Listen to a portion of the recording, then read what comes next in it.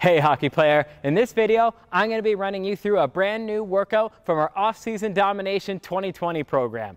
This workout is taken from phase one where the primary goal is to have bulletproof structure.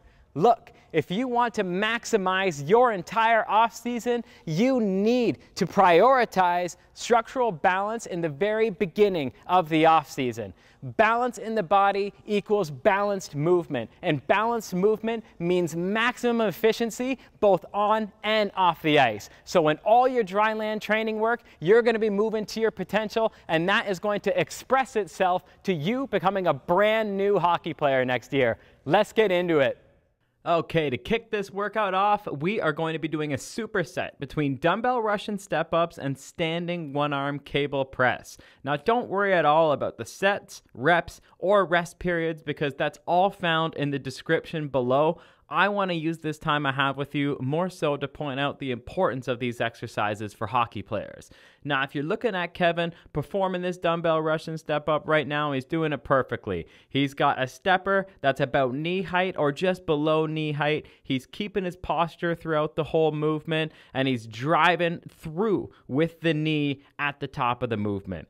That's exactly how you perform this exercise, and it's particularly important for hockey players in the early phases of the off season because it helps correct structural imbalances within the quadriceps, but it also helps break up adhesions that would otherwise cause mobility limitations within the ankles and the hips. All stuff that's very important to create a balanced body and to prevent any kind of injury risk moving forward in the off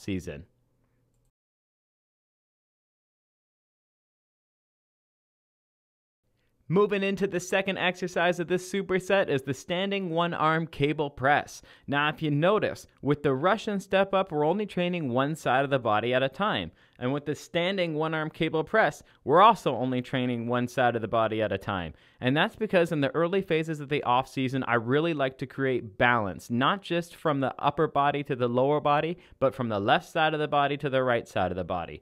Hockey is a unilateral sport. You're either right handed or left handed, so you're always accelerating and decelerating on one side of your body, which creates strength imbalances, which lead you to being at an increased risk for injuries. We correct all that right away in the offseason. You see Kevin here performing this exercise the way it should be performed. You're in a staggered stance, you've got a tight core, you're making sure your shoulders and your pelvis are pointed forward the entire way and that you're not rotating with the cable and you're pressing directly in front of you. This helps stabilize the core, create balance within the core, but also balance within the upper body musculature of your body.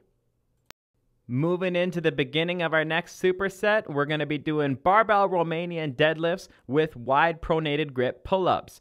Now, Kevin's performing the barbell Romanian deadlift right now, and I want you to have a look at his toes. They're pointed straight forward, and that's because we don't want to replicate the toes pointing slightly outwards like you would see out in the ice. When you're skating, you're pressing down and laterally and backwards to propel yourself forward but that creates structural imbalances within the hamstrings. Particularly, you're going to have weak semitendinosus and semimembranosus hamstring muscles, but an overdeveloped and strong biceps femoris muscle within the hamstring by correcting the toes and keeping them forward in this hamstring focused movement, we're able to create more balance in the hamstrings, which is very important because they're hip extensors involved in explosive speed out in the ice, but they're also knee stabilizers. So they help you prevent injury risk with your dry land work or with your on ice practices and games as well.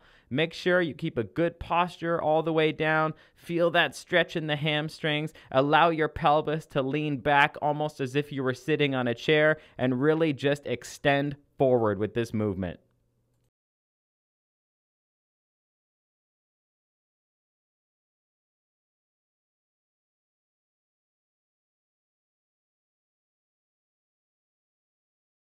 Moving into the second exercise of the second superset in this workout, we got that wide pronated grip pull up. This is my favorite exercise in the entire game for improving hockey athletes' shot power.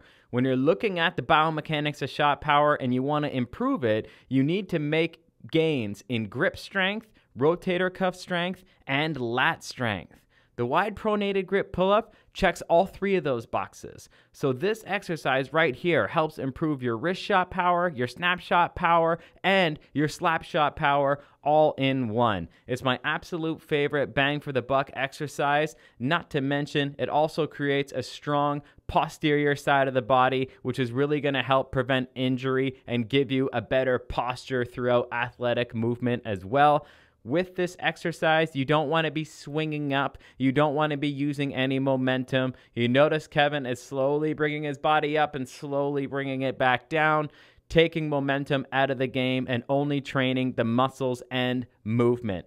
That's how you get the most out of this exercise. And when you get the most out of an out of an exercise, you get the best translation to an on ice setting. Moving into the final superset of the workout, we're going to be doing dumbbell Cuban presses supersetted with prowler pushes. Now, the dumbbell Cuban press is an excellent shoulder exercise for hockey players in the early phases of the off season, particularly because of that external rotation you see Kevin doing in the middle of the movement. You can see this movement kind of like a dumbbell upright row to external rotation to dumbbell overhead press. It's all of that in one, but you don't want to use momentum and really just launch the dumbbells upwards. Notice he's controlling it the entire way through. It's a slow tempo, it's a controlled movement, and that's because that external rotation is very important to not just breeze through. Hockey athletes are in what's known as shoulder flexion for pretty much six to eight months of the year throughout the in season. That shoulder flexion causes a rounded shoulder effect in the upper body, which causes tight anterior shoulders and pec muscles, but loose and weak upper back muscles and weak rotator cuff muscles. This over time increases your risk for injury, but it also just decreases your hockey performance. This exercise all in one trains the delts and the external rotators, which are both imbalanced in hockey players and need to be corrected right away. The second exercise in this superset is the prowler push. Now, a lot of you may not have access to a prowler, and that's okay because you can substitute this with just a stationary bike and add in some resistance to that bike to making it a lot harder on you. If you got a prowler or a bike, it's the same thing. I want you to do 20 seconds of nonstop as hard as you can going for it.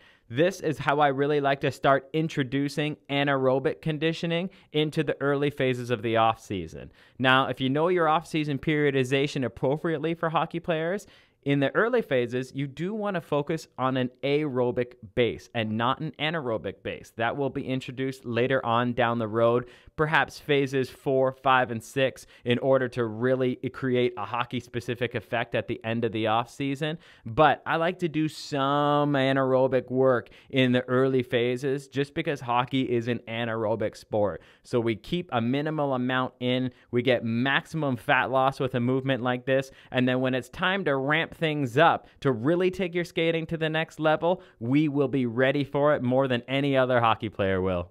Thanks for watching our hockey training video. If you want to improve your all-round hockey performance by having the best off-season of your life, then you've got to check out the brand new off-season domination program.